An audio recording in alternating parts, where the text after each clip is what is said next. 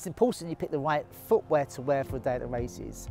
Remember you're going to be outside for a long time, you're going to be standing for a long time, so pick things which are comfortable as well as stylish. I like to wear in winter a chukka boot, maybe in a dark brown suede, that always looks practical.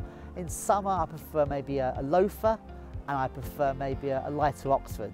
I think those type of shoes look better. I don't think I would go so far as wearing sort of the slipper style shoe you often see at social events and I'm going to be controversial here but keep espadrilles for the beach and do wear socks.